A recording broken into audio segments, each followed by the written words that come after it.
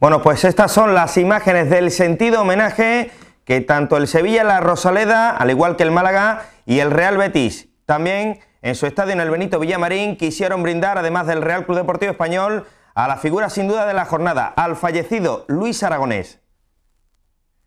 Y los goles que se produjeron también en la Rosaleda por parte del Sevilla, remontó el partido que empezó ganando el Málaga con un penalti que convertía a un ex sevillista, duda, pero posteriormente fue el propio Málaga el que acabó haciéndose con los tres puntos, remontó de nuevo y al Sevilla que le vuelve a ocurrir lo mismo que en la jornada anterior ante el Levante. Vemos incluso el lío que se produjo en la banda, luego lo vamos a ver con más detenimiento, todo lo que Unai le dijo en este caso a Ver Schuster. Y en el estadio Benito Villamarín, Pepe Elías Cuatro meses, cuatro días después, una victoria del Real Betis Balompié.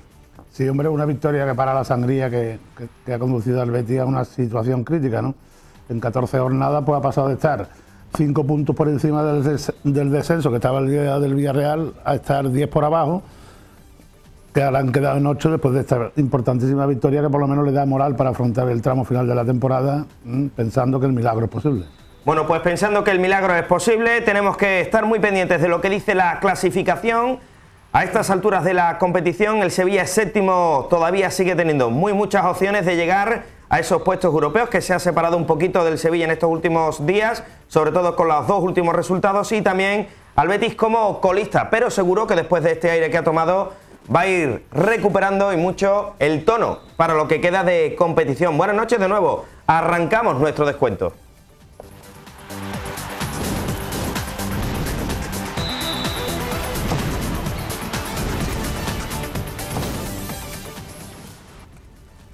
Un descuento que viene cargado de temas, pero sobre todo con un protagonista importantísimo que nos va a acompañar Pepe en la noche de hoy. Está con nosotros el presidente del Real Betis Balompié, al que agradecemos que esté aquí en directo en el descuento en el correo televisión para analizar la situación de un Betis. Que nadie piense que esta entrevista es ni mucho menos porque el Betis ganó ayer. Estaba pactada hace bastante tiempo que el presidente, una vez que terminase el mercado de fichajes, iba a aparecer por aquí por nuestro plató, así que le doy la bienvenida. Miguel Guillén, presidente del Real Betis Balompié, buenas noches. Hola, buenas noches. Bienvenido a su casa, a su plató. ¿Se encuentra usted cómodo, cerquita del verde, no? Sí, lógicamente. Muchas gracias por, por, invitarme. Un placer estar aquí.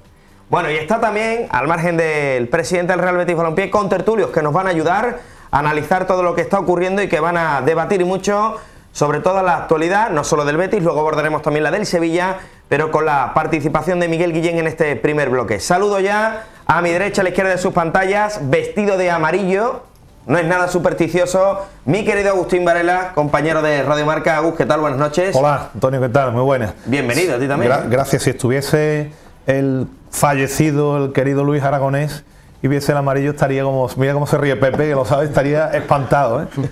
bueno, está también con nosotros, no espantado, sí que muy sonriente, el querido Nacho González del diario Marca. Nacho, bienvenido a ti también a tu Muchas gracias, Antonio, por dejarme estar aquí, hombre, y conocer estas nuevas instalaciones, que son magníficas. preciosa.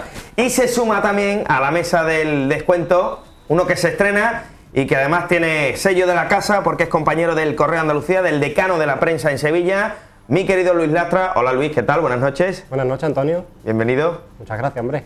Muchos temas que preguntarle a Miguel Guillén y muchas cosas que comentar. Abro ya la mesa, Pepe, si os parece.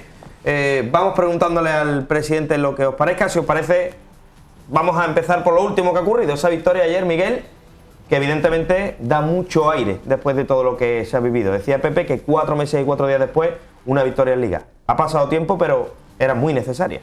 Sí, la verdad es que era absolutamente necesaria. ¿no? Eh, los, últimos, los últimos 14 partidos, no conseguir una sola victoria, bueno, son, son números lamentables. ¿no? Y, no solamente eh, el equipo, el club, sino la afición, lógicamente, estaba eh, absolutamente necesitada, necesitada de una victoria como la de, como la de ayer. ¿no? Bueno, es la verdad que el primer pasito, el primer pasito para cambiar las cosas, para cambiar la dinámica, para conseguir ese, esa empresa difícil que tenemos por delante, eh, lógicamente no nos lleva y no nos debe llevar a la euforia ni mucho menos, pero sí a pensar de que este equipo eh, está muy vivo todavía en primera división y que tiene al menos la posibilidad eh, de pelear por la permanencia, algo que parecía que no era posible quizás la semana pasada. Yo, quería hacerte una pregunta. Después de tanto, cuatro meses, te he dicho, sin ganar un partido, ¿dormiste ayer de otra manera? Después de. Mm, a ver, dormir, dormimos poco últimamente, si te digo la verdad, Pepe. Y no, tampoco, eh, lógicamente salimos de allí con otro cuerpo y con otra sensación y, y con otra, bueno, alegría, ¿no? Por decirlo de alguna manera, por conseguir esa, esa ansiada victoria y además en, en nuestro estadio tan necesario, como te estoy diciendo, ¿no? Pero eh, somos muy conscientes de que, eh, bueno, es, es un balón de oxígeno nada más para afrontar la siguiente final, que no es más ni menos contra el Valencia, y que esto es lo que debemos hacer ahora a partir de, de- de ya con cada encuentro que tengamos en, en la liga, ¿no? Para, para conseguir eh, lo que todos queremos, ¿no? Por lo cual eh, no hay la más mínima relajación, eh, no hay la más mínima confianza en el sentido de que tenemos que seguir trabajando ¿no? para, para conseguir eh, victorias importantes de los próximos partidos también, inclu- incluso con rivales eh, muy complicados, para que bueno, eh, todo salga como tiene que salir y que el Betis el año que viene esté en primera división. porque esta racha ha sido una especie de tsunami lo que ha pasado por el Betis en los últimos meses, ¿no? Porque vemos la foto del comienzo de temporada, que estaba tú con, con Borg, con Mel, con Stossi, con luego ha caído Garrido. Han pasado cantidad, muchas cosas en estos dos. Han pasado muchas últimos- cosas, ¿no? A mí, meses, ¿no? principalmente lo que, lo, lo que nos preocupa en el club es, es la situación deportiva, ¿no? La verdad es que eh, me- yo creo que nadie se esperaba esta situación eh, deportiva del Betis, ¿no? Eh, cuando vimos los primeros partidos, pues eh, vimos a un, a un Betis eficaz, un Betis que competía incluso con equipos como- curiosamente ahora hay mucha gente que dice que sí, que esto se veía venir ya en verano y que... Bueno, yo creo que, que es fácil decirlo a toro pasado, ¿no? Yo creo que eh, lógicamente no hay un solo motivo, son muchos, ¿no? Esto es fútbol y al final eh, estas cosas pueden pasar y eh, bueno, pues el hecho de no haber planificado bien en verano, no haber sido previsores en cuanto a una serie de, de acontecimientos que se han dado dando, como han venido dando, como el- la lesión de Rubén Castro, la dinámica, la falta de confianza, la- al final todo eso hace que, que el, equipo en un momento determinado pues eh, se vea incapaz de, de ganar a, a rivales que en teoría eh, son muy superiores, ¿no? porque yo eh, sinceramente lo pienso, pero no, es, eh, no hay que ser solamente eh, técnicamente o tácticamente superior al rival, sino que luego también hay que eh, demostrarlo en el, en el campo con la confianza, pues con, con- Sí, el estado con de ánimo, el estado de ánimo y moral con- que ha ido perdiendo el equipo. y esto, pues desgraciadamente, no, no se ha dado. ¿no?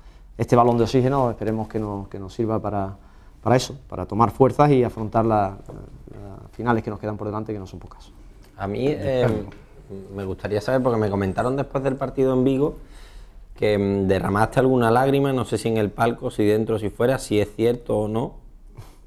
Porque, claro, ese día había tanta expectación levantada con, con la entrada de Calderón en el club, la ilusión se había recuperado, el equipo se pone por delante y al final, pues, se volvió a lo mismo de antes, ¿no? Prácticamente. Y, y me comentaron eso, no sé si es cierto o no, y me- por eso te lo pregunto. Bueno, son, la verdad es que se- son tiempos muy duros ¿no? para todo el mundo. Yo como cualquier otro bético, ¿no? Eh, es un palo detrás de otro, ¿no? y algunas veces con el, el guion más dramático incluso que, que se, se pueda dar en un terreno de juego, ¿no? pues como nos ocurrió eh, con el Levante, con los dos penaltis, o como nos ocurrió con eh, la multitud de los múltiples palos, eh, tiros al poste y largueros que hemos tenido prácticamente en todos los partidos que hemos jugado durante toda la jornada de la primera vuelta, ¿no? Entonces, la verdad es que se hace, se hace tremendamente duro porque, bueno, pues se pone en juego quizás tres años de trabajo, ¿no? Tres años de, de esfuerzo, de dedicación. Nosotros somos conscientes de, que en un club de fútbol lo más importante son los resultados y estos no llegan y somos conscientes de- del cansancio, del, del hartazgo de, cualquier bético. De, estar 14 jornadas sin ver a su equipo ganar, una detrás de otra. Son momentos duros, pero bueno, hay que estar ahí, hay que intentar eh, trabajar para revertir eh, la situación, hay que sacar fuerzas de donde uno ya no las tiene y hasta que eh, no haya dejado la última gota de sudor eh, para intentar cambiar las cosas, pues no puede rendirse uno, ¿no? Y en, y en eso estamos. Eh, ayer, Miguel, es verdad que el equipo viene de Vigo y de caer de la forma eh, tan cruel, además como tú comentabas, porque además el equipo cae por errores groseros, ¿no? Errores que son impropios de, de la categoría. Pero ayer sí es verdad Y creo no que ha sido el único día. Que No, no, evidentemente. grosero. Pero sí es verdad que ayer se dan eh, o se da una circunstancia que yo creo que se ha pasado por alto y que es muy importante de cara ya a, a- a lo que queda por delante, ¿no? El equipo ayer no marca hasta bien entrada la segunda parte. Sí es verdad que se le ve más solidez y quizás se ve al Betis más cohesionado de, de las últimas jornadas. No se desordena. ¿no? Pero ayer nadie en el campo se acuerda de Mel, el ambiente es totalmente distinto. Desde que ha llegado Calderón parece que eso también, lógicamente, en la grada eh, se percibe de otra forma. Eso imagino que desde el palco también lo, lo notáis vosotros, ¿no? Sí, lógicamente, ¿no? Bueno, eh, en una situación, eh, que fue lo que pensó este Consejo de Administración también a la hora de tomar la decisión, ¿no? En una situación tan crítica como esta, y previendo diferentes escenarios y el ambiente de crispación, eh, bueno, entendible y comprensible 100%, pues pensamos en, en un entrenador pues, que tuviera los argumentos que tiene Calderón, ¿no? Bueno, yo sigo insistiendo en que al final eh, los resultados son los que lo marca todo ¿no? en el fútbol. Y eh, desde luego estamos eh, dando pasitos para procurar que se siga ganando partidos finales que tenemos por delante y ojalá así sea. ¿no? Nosotros vamos a trabajar en eso. Creo que el Calderón está haciendo un, un gran trabajo con la plantilla porque sinceramente vosotros sois profesionales de esto y estaréis de acuerdo conmigo en que la plantilla no es para estar ahí, que se han podido cometer más errores, que han podido haber lesionados, que eran jugadores importantes, algunos determinantes como Rubén Castro, pero desde luego la plantilla es- no es para estar en la situación que estamos, por lo cual nosotros entendemos que, que eso, que el estado de ánimo y la confianza que eh, ha faltado, pues en función de los resultados que no llegaban, han hecho mucha mella en el equipo, ¿no? Y el equipo puede jugar mejor al fútbol, puede dar mucho más, puede ser mucho más efectivo. Y creo que eh, Gaby está dando con la tecla en ese sentido, eh, que es bastante importante. ¿no? Al hilo, al hilo, perdona, de lo que estás comentando, ¿tienes la sensación, como tenemos muchos, que se ha perdido un tiempo valiosísimo o se ha per- podido perder un tiempo valiosísimo con, con la etapa de, de Garrido? Bueno, al final en el fútbol no puedes mirar atrás, ¿no? Eh, Garrido ha hecho un trabajo también importante en el Betis, lo que pasa es que no han llegado los resultados, que es eh, el motivo fundamental por el, por el cual él fue contratado, ¿no? Pero yo estoy convencido, porque lo he visto, de que él ha tenido una labor importante en ese mes, mes y pico que estuvo ah, al frente de- del equipo, ¿no? Eh, se encontró un equipo que necesitaba un revulsivo importante y que necesitaba mejorar el fondo físico y entrenar de otra manera y lo estuvo haciendo, ¿no? Desgraciadamente, pues los resultados no llegaron y, cuando no llegan los resultados, eh, los puntos van pasando, los partidos se van yendo y hay que seguir tomando medidas si, queremos cambiar la dinámica. ¿no? En cierto modo trabajó, pero no logró ese, ese objetivo de cambiar la dinámica que única y exclusivamente se hace pues al final eh, a través de los resultados. Yo, sí creo que Garrido, repulsivo en realidad nunca llegó a ser, porque el equipo no cambió ni la cara. O sea, bastó ver el primer día de entrenamiento con Calderón para ver la cara de los futbolistas, de que sí había cambiado la cara, pero con Garrido eso no sucedió. Pero yo sigo teniendo la duda, eh, porque el día de la presentación de Garrido se habló mucho de quién había firmado a Garrido, porque Stossi no había tenido la palabra final, fue el Consejo de Administración. Pero ¿quién es un Consejo de Administración que todos además habéis dicho que no sois expertos en fútbol, eh, toma una determinación tan importante en el futuro de, la entidad como es la elección de un nuevo entrenador? Si, el director deportivo presenta una serie de nombres, em, ¿qué argumentos hay para decir, pues elegimos a este hombre en vez de a los otros? Bueno, la verdad es que la, decisión se toma en consenso. Eh, el director deportivo, como es su obligación, viene con una serie de propuestas para hacerse cargo del equipo, ¿no? Eh, a raíz de la salida de Pepe. Eh, lógicamente, un director deportivo eh, tiene que estar finalmente de acuerdo en la elección que se toma, si no, eh, en cualquier caso, no creo que continuara como tal. ¿no? Se hace en consenso y, bueno, en aquel momento pues, se buscaba una persona que hubiera tenido experiencia en la primera división de la Liga Española y que hubiera conseguido últimamente eh, objetivos importantes o que hubiera hecho un buen trabajo y que no llevara demasiado tiempo sin trabajar, ¿no? por la premura y la necesidad de, de- del Betis y, de- del equipo en sí. ¿no? no nos dio el resultado, desgraciadamente, que todos íbamos buscando. Yo creo que cada vez que se cambia en cualquier equipo, no, no solamente en el Betis o en cualquier club, cuando se cambia de entrenador, el objetivo principal es que los resultados que no están llegando, pues que lleguen. ¿no? Pues seguramente hubo bastantes mejoras que yo no voy a entrar a, a valorar una por una hora hoy aquí, en el trabajo que hizo Garrido, pero que no conllevaron que el equipo ganara. ¿no? Y al final, insisto, eh, en el fútbol hay que ganar, porque si no todo lo demás parece que no está funcionando y es el, objetivo primordial, por lo cual si no estás consiguiéndolo tienes que tomar decisión. Eh, te, lo pregunto directamente, eh, ¿tuvo vos en esta decisión un papel mm, predominante o...? No, no, él tuvo el papel como miembro del Consejo de Administración nada más. Luis, querías preguntar tú también. No, sí, que le quería preguntar al presidente, me ha hecho ante un somero repaso de, estos cuatro meses que el equipo ha estado sin ganar y bueno, todo lo que ha sufrido el Consejo de Administración, al igual que todos los éticos. Mm, en algún momento de estos cuatro meses llegó a pensar, aunque fuera inconscientemente, que la situación empezaba a ser o era ya irreversible. Se me ocurren, por ejemplo, en la derrota contra la Almería, en la derrota contra Osasuna en casa, que eran partidos señalados como finales directísimas y como que eh, partidos en los que los éticos daban por hecho que esos tres puntos se iban a quedar en, en Heliópolis. No, no, a ver, al final eh, nosotros pues, somos un consejo de administración eminentemente práctico en el cual mientras haya mm, puntos en juego, mientras haya posibilidades, mientras queden minutos de, descuento, pues eh, mientras matemáticamente sea posible, pues eh, tenemos que trabajar por ello. ¿no?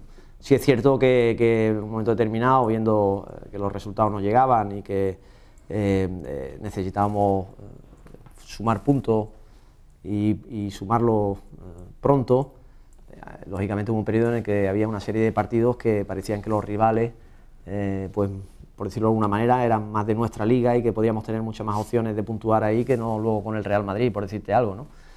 Eh, en fin, como tú bien has dicho, como, como, todos los béticos, ¿no? La verdad es que ha sido duro y una decepción detrás de otra y, y bueno, hemos, hemos padecido y, seguimos padeciendo y estamos sufriendo, pero estamos a la vez trabajando porque somos los que tenemos en un momento determinado las posibilidades de cambiar esto y, eso es lo que pretendemos. Miguel, eh, acaba de, finalizar el, mercado de fichajes, se ha hablado mucho, ha habido muchos frentes abiertos, han salido muchos nombres, otros no, muchos ofrecimientos, muchos intermediarios, mucha gente llamando al Betis, mucha gente a la que el Betis ha llamado y al final han venido tres refuerzos. Leo Baptistao, Alfred Ndiaye y Antonio Adán. Y esos refuerzos también estaban en la famosa lista, lista perdón, de Vlada Stosic. Eh, aunque no estuviese el director deportivo, ¿tanto ha pesado ese trabajo que había dejado hecho la dirección deportiva hasta el momento en el que se marchó? ¿O es que realmente eran las opciones que, se barajaban desde hacía tiempo? No, yo no estoy de acuerdo.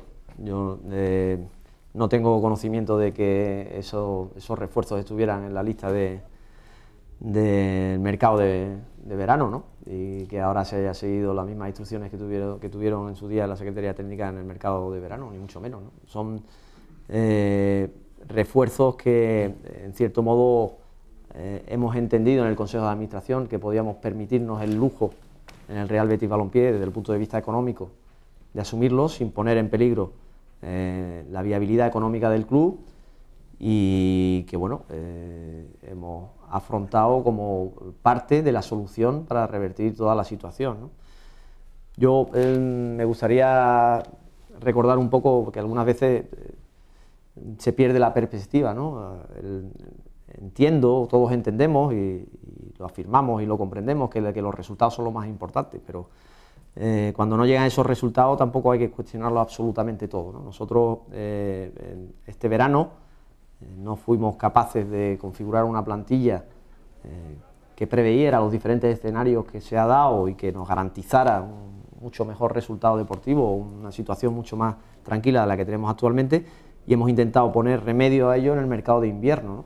Y lo hemos hecho dentro de los límites económicos que tenemos marcados, porque eh, seguimos teniendo una enorme responsabilidad eh, a nivel personal en lo económico en el Betis, ¿no? y porque tenemos que, desde el primer día que estamos aquí, tener muy presente, muy presente, que lo más importante para el Real Betis Balompié, a pesar de ser un club de fútbol, y un club de fútbol se rige por sus resultados deportivos, es eh, salvaguardar el futuro de la entidad, una entidad centenaria que hace tres años no estaba garantizado el, futuro, ¿El futuro pasa por quedarse en primera o...?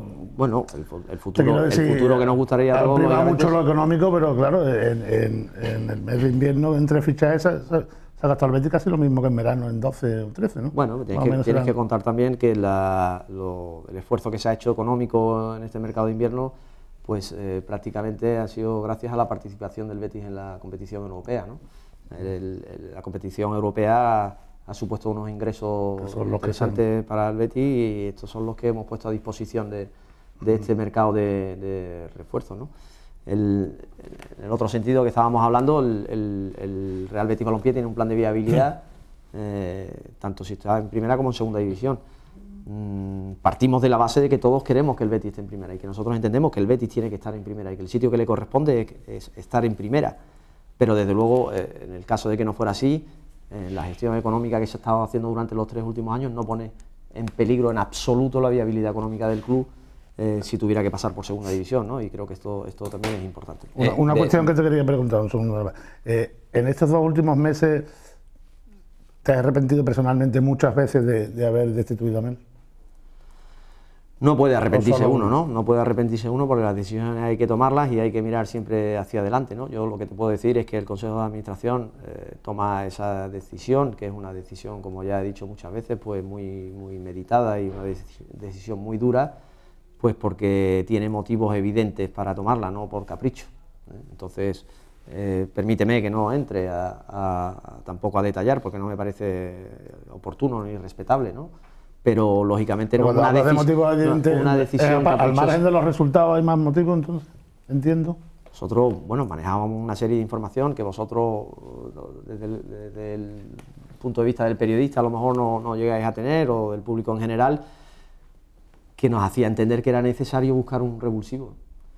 Eh, yo insisto, eh, el agradecimiento total y absoluto a Pepe Mel por la tremenda labor que, ha hecho, ¿no? Y yo personalmente con la relación que he tenido con él y que he estado con él desde el primer día, ¿no? Y que nunca pensé que iba, a continuar en el Betis sin, él, ¿no? En cierto modo, porque, bueno, entré eh, con un proyecto y quería salir con ese proyecto, ¿no? Pero al final eh, es cierto que el equipo se encuentra en una situación ya bastante delicada deportivamente hablando, pues había jugado 15 partidos y únicamente había ganado dos, ¿no? Entiendo que, hay ciclos en el mundo del fútbol, hay ciclos para los entrenadores, hay ciclos para los presidentes, hay ciclos para los consejeros, hay ciclos para los directores deportivos, hay ciclos para todo el mundo, ¿no? Y, quizás ese, por la información que nosotros manejábamos, fuera un ciclo eh, terminado. y esa, información de, la que hablas, Miguel, ¿va un poco al hilo de lo que comentaban muchos de los jugadores o también algunas escenas que hemos visto, como por ejemplo aquella con, ultras que accedieron hasta, hasta el vestuario, con aficionados que se acercaron a la ciudad deportiva y con los que Mel dialogó incluso en el interior de las instalaciones. Yo sé que eso hizo mucho daño, pero ¿tanto daño llegó a hacer como para debilitar la figura del entrenador? No, no. Yo, yo con Pepe he tenido una relación muy estrecha y, hemos tenido bastante encontronazos desde el punto de vista profesional, yo como presidente, él como entrenador y y siempre la hemos solventado como la teníamos que solventar, ¿no? Hemos hablado, hemos reflexionado y el que la ha tocado pues ha reconocido pues que a lo mejor eh, no ha hecho lo correcto, ¿no? Pero, pero lo principal siempre es lo deportivo. Siempre. La, decisión lógicamente después no ha sido acertada porque el equipo estaba a tres puntos de la salvación, no estaba ni mucho menos muerto. Es más, en ese partido ante el Rayo Vallecano el Betis hace un buen partido, seguramente de diez veces que hubiese jugado ese partido lo hubiese ganado nueve, pero te quería preguntar si esa información no la manejabais meses antes cuando a Pepe Mel se le firma eh, cuatro temporadas. Bueno, eh, lógicamente todos sabemos cómo es el mundo del fútbol, ¿no? Nosotros teníamos ilusión, eh, bueno, pues por, esta nueva temporada, toda la ilusión del mundo, ¿no? Y nosotros trabajamos codo con codo con, Pepe Mel, ¿no? Igual que solemos hacer con, con, Gaby ahora, ¿no? Pero lógicamente al final los resultados marcan la, situaciones. ¿no? A mí me hubiera encantado que, bueno, eh, un entrenador, fuera cual fuera, Pepe Mel o cualquier otro que haya hecho una buena labor dentro del Real Betis Balompié, o Gaby, que ha sido un jugador importante y que todos tenemos muy presente y lo queremos una barbaridad, pues que hubieran tuvieran la posibilidad de estar 10 años en el Betis, ¿no? Pero al final eh, los resultados, lo más... hablando de los resultados, sí es evidente que esa decisión después a la larga no, no ha surtido efecto, ¿no? Pero tenemos que pensar que si, si analizamos realmente, no sé si coincidiréis conmigo, en que realmente eh, la situación de que atraviesa el Real Betis Balompié deportivamente hablando no es única y exclusivamente motivo de que la plantilla sea mejor o peor, porque la plantilla no creo que sea como para estar en la situación que, está actualmente, descolgado y en puestos de descenso como colista. Creo que todos reconocemos eso. Eh, eh, podría haberse confeccionado en verano una plantilla un poquito mejor, seguramente, un poquito peor, si hubieran salido las cosas, pues sí, pero no es para estar ahí, por lo cual hay, hay muchos otros factores que inciden en el resultado deportivo. Y nosotros entendimos que eh, mm, las dos victorias de 15 partidos también estaban ya pesando mucho al equipo, que necesitaba em, ese revulsivo del que hablamos, que necesitaba em, cambiar un poco todo el entorno, porque ya no solamente en un momento puntual es el entrenador, sino incluso todo el entorno después de cuatro años eh, nos pasa a todos, ¿no? podemos tener cierto grado de acomodo, pues porque las cosas ya van más rodadas y ya nos conocemos todos y cada uno a lo mejor no, nos relajamos en lo que es nuestra, nuestra labor profesional. ¿no? Pero en fin, eh, al final eh, yo lo que sí me gustaría haceros ver es que el Betis no entra en una situación delicada deportivamente hablando a partir de la marcha de Pepe Mel, sino que el Betis está ya en una situación muy delicada deportivamente hablando Mm, desde que empezó Pepe Mel esta temporada, desgraciadamente para todos.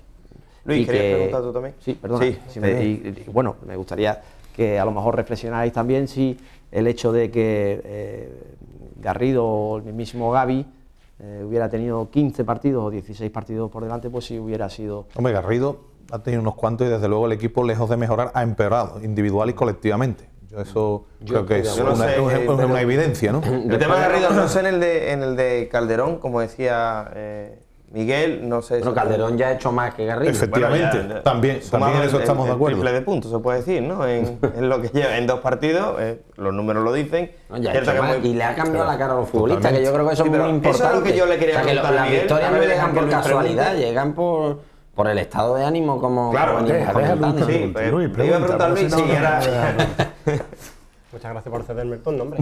No, yo, de, lo que ha dicho Miguel hasta ahora, mm, entiendo que lo que él más lamenta de la planificación de verano, obviamente lo veía todo el mundo, pero el club no lo iba a reconocer oficialmente, es el asunto del delantero. ¿no? Eh, Rubén Castro empieza a tener problemas ya en la concentración en Inglaterra, se intenta, se opta por un tratamiento conservador, no se lo opera hasta, hasta que llegue el otoño, y el club trae como recambio a Braño Rodríguez y Chuli. Mm, por lo que tú has comentado, entiendo que eso es lo que ¿El aspecto en el que más os arrepentís de lo que hiciste en verano? No, no, Luis, yo no estoy de acuerdo contigo. O sea, yo no, eh, yo no vi a nadie en verano que dijera que Rubén Castro iba a estar lesionado hasta febrero. Lo siento mucho, pero no lo vi.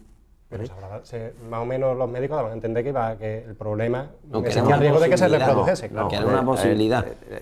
desgraciadamente, eh, la planificación estaba hecha de tal manera que se contaba con Rubén Castro, incluso durante la pretemporada, cuando empezó a tener las primeras molestias, nadie se imaginó, ni siquiera los médicos que estuvieron un tiempo intentando averiguar cuál era el problema, nadie se imaginó que Rubén Castro pudiera estar tanto tiempo fuera, por lo cual eh, la planificación, y ahí puede haber un error, eh, si lo quieres considerar así, eh, se hizo pensando que teníamos una muy buena delantera con Rubén Castro y Jorge Molina y que había que traer alternativas. Que yo sepa, en el caso de Brian, pues los argumentos de en su día el director deportivo era que era un delantero diferente, y que se acoplaba a una alternativa de juego en un momento determinado eh, por su altura y demás y por si se veía el Betis en una situación que tuviera que lanzar eh, balones al área y, bueno, por, su altura y demás.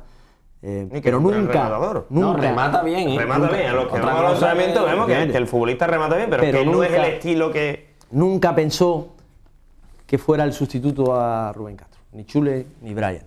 Eso puede ser un error de planificación, porque a lo mejor hay que pensar un profesional tiene que pensar que eh, un jugador no va a rendir al máximo nivel como había hecho la temporada anterior y en vez de fichar a una alternativa, eh, pues debe traer algo que sea lo más parecido dentro de nuestras posibilidades económicas. Pero bueno, eh, a todo lo pasado es muy fácil analizarlo todo, Luis. Entonces es cierto que en función de los resultados que estamos viendo y de la marcha deportiva del club, ha habido errores, evidentes, y lo asumimos y tenemos que asumirlo y creo que eso nadie lo va a negar, ¿no? Pero que nadie pensábamos que, los resultados eh, con esta plantilla pudieran llegar a ser tan, tan pésimos como han, estado siendo hasta ahora. Y te pregunto también, Miguel, eh, se habla mucho en las últimas fechas de un director deportivo. El otro día incluso recuerdo en rueda de prensa contigo decías que eh, bueno, pues se estaba ya viendo, o, que en este caso se había trabajado con, con, bastante gente, pero que no se tenía claro un nombre y que incluso tú no te habías entrevistado de manera personal con, con ninguno de ellos. ¿A día de hoy ya te has reunido con alguien o, sigue el mismo plan? No, pero empezamos esta semana. Tengo una, tenemos una extensa lista con candidatos eh, de todas las características, eh, diferentes condiciones y cualidades y, queremos eh, reunirnos prácticamente con todos los que vamos a considerar que reúnen eh, las condiciones necesarias para ser director deportivo del Betis y, y hacerlo, hacerlo ¿Y la idea cuál en es? estos próximos días. Porque, según tengo entendido, dentro de un par de meses va a haber una junta de, de accionistas que ya está convocada, ¿no? Que puede haber cambio en el Consejo. No sé si Miguel Guillén va a seguir en la presidencia después de esa junta de accionistas. Te quiero decir, porque ¿Tiene ganas de se habla seguir? de ¿La intención cuál es? ¿Tú te apetece seguir o...? No, nosotros como hemos Porque dicho... tú tendrás que, o sea, si, si no te apetece seguir, no te hace falta que nadie te diga, ¿no? Nosotros, Porque la decisión es tuya, como, ¿no? Como sabéis, sí, pero como sabéis, el, el Consejo de Administración ha puesto los, los cargos a disposición del administrador judicial. Sí, Eh, pero, pero, pero eso, pero que si tú te quieres ir, te vas. No te hace falta que una persona te diga, ¿se puede usted ir o no? No, no, eso no es así. Eso no es así. Yo hoy si me quiero ir, no me puedo ir. Que Hombre, hoy no, estoy una diciendo- junta. La Digo, junta sí, efectivamente. me refiero a la Yo junta. pongo a disposición eh, del administrador judicial el cargo, al igual que los consejeros, y, le- y luego le doy mi opinión personal sobre lo que procede a hacer en esta situación. ¿vale? Que no voy a desvelarla, pero yo le doy mi opinión personal sobre lo que procede a hacer en esta situación. Luego, al final, es el administrador judicial el que tendrá que decidir y determinar qué quiere que ocurra en esa junta. ¿no?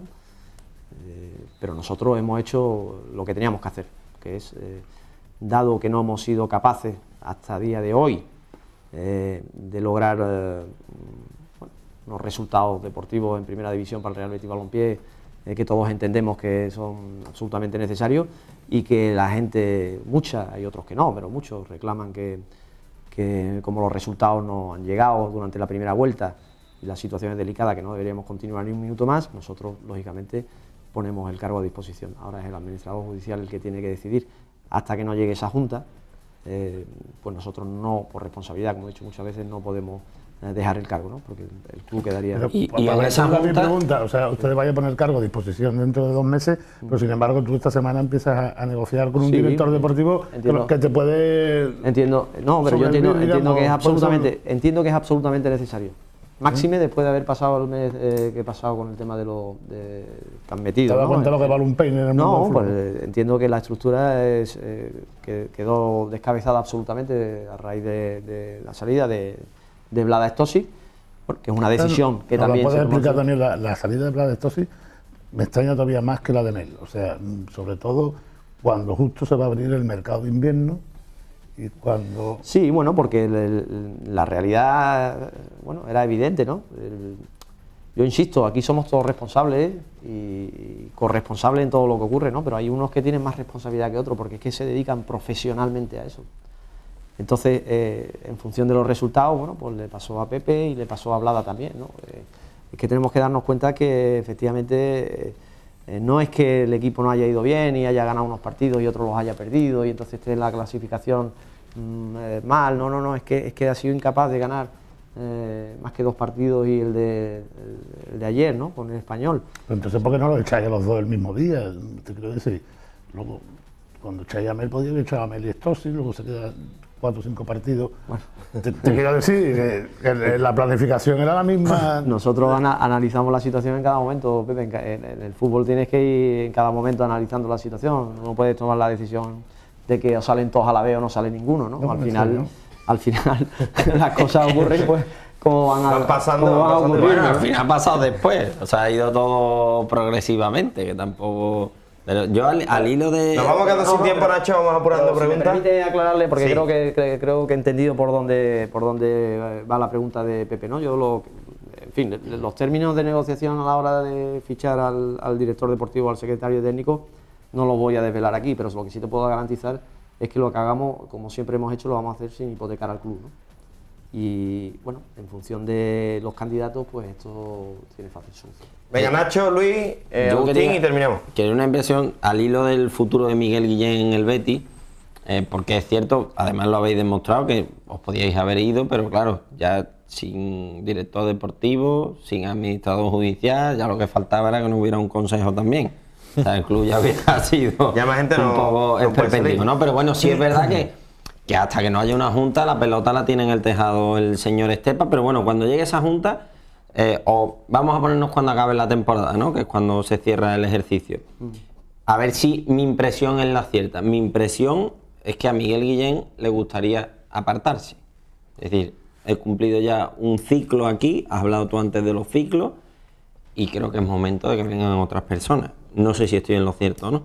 Bueno, eh, cuando he hablado de que los, eh, todo tiene su ciclo, evidentemente, eh, la parte que a mí me toca, pues creo que también, ¿no? Lo que pasa que, que sinceramente, mm, hoy me ves aquí y mañana me verás en el club siguiendo como presidente y la semana que viene lo que a mí me apetezca no es lo que importa ahora mismo, ¿no? lo que importa es el Betis. y los que estamos ahí estamos siempre pensando en el Betis, ¿no? No, en nuestra, no en nuestros intereses particulares o lo que nos gustaría hacer en cada momento y no, hacer. Por lo cual, eh, bueno, la verdad es que llevo tres años ya, eh, mucho más de lo que en un principio se pensaba.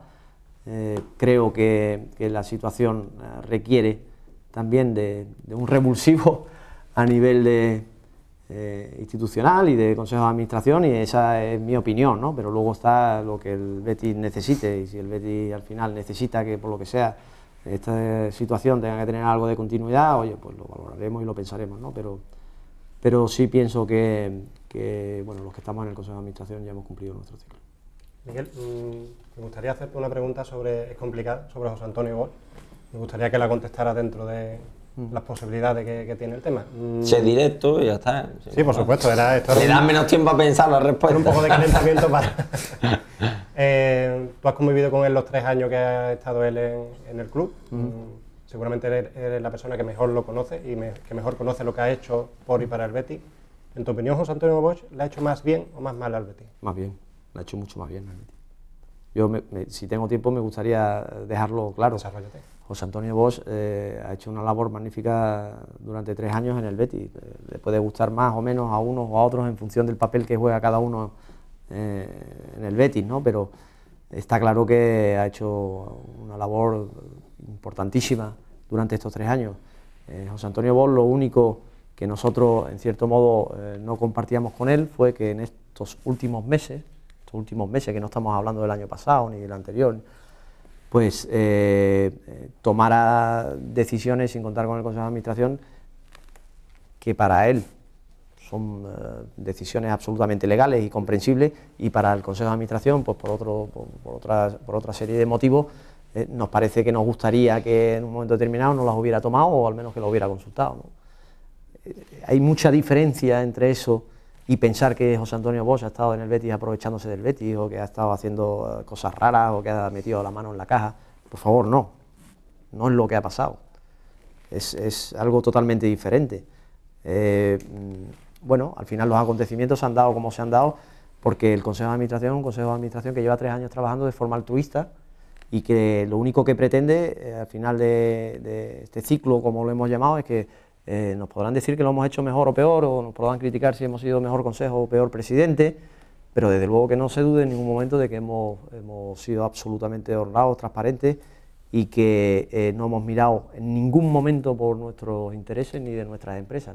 Y no estoy diciendo que José Antonio, honrado, eh, José Antonio Bosch no sea honrado, que seguramente lo es más que yo, si cabe, pero sí estoy diciendo que él se rige dentro de la ética y la moralidad por otros baremos diferentes a los del Consejo de Administración. Tú le preguntas hoy a José Antonio Bosch si volvería a hacer lo mismo que hizo hace unos meses cuando contrató servicios y él te va a decir que sí y te lo va a defender y es capaz de convencerte. Es capaz de convencerte. Nosotros lo vemos de otra manera, pero de ahí a acusar a José Antonio Bosch de lo que no ha hecho me parece una injusticia total y, absoluta. Eh, hablando de, profesionales, ¿no? de otra serie de, cuestiones, ¿no? Eh, no sé si en tu mente eh, tienes previsto también, en este caso tanto tú como el Consejo de Administración, llevar una actuación a cabo. ¿no? Me refiero al tema de, la cantera, todo lo que está ocurriendo, tema también de eh, bueno, algunos sectores dentro del club donde evidentemente pues, las cosas tampoco han, funcionado de, la manera más adecuada, pero sobre todo la cantera, ¿no?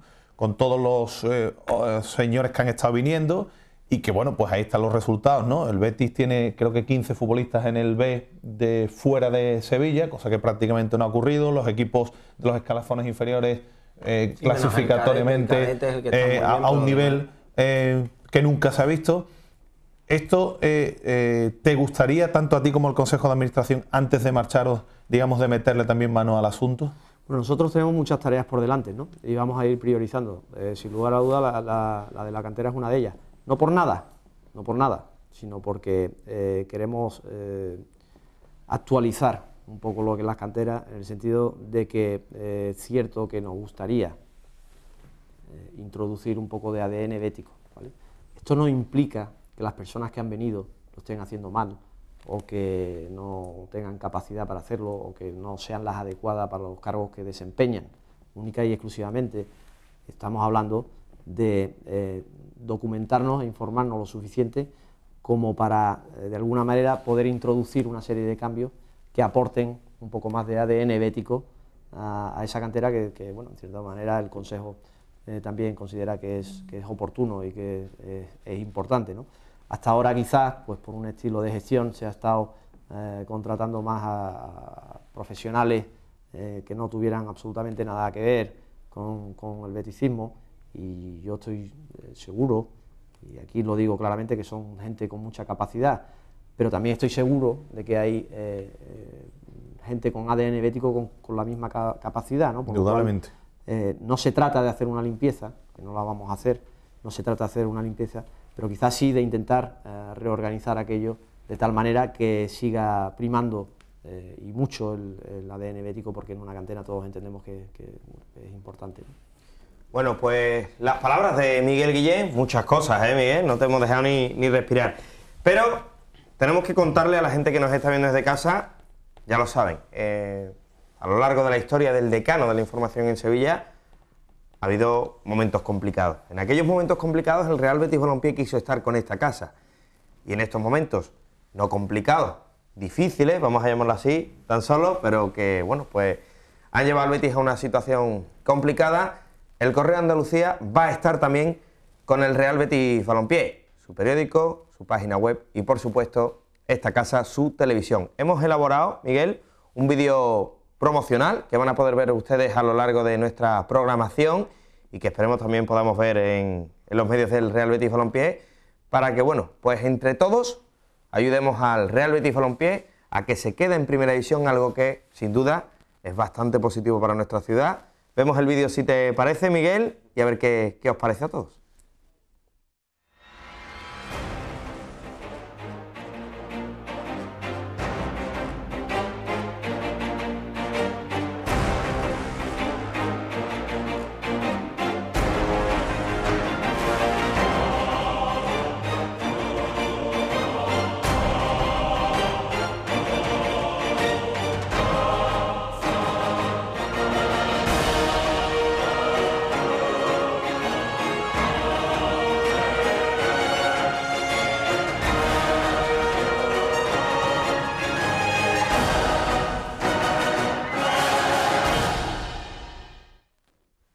Pues este es el vídeo que nuestra querida Rocío Balondo, el equipo de editores, ha preparado, eh, no solo con motivo de la visita de Miguel Guillén, sino, como digo, para ir eh, lanzándolo a través de los medios de esta casa para apoyar al Real Betis Balompié en un momento complicado. ¿Qué te ha parecido, Miguel? ¿Te ha gustado?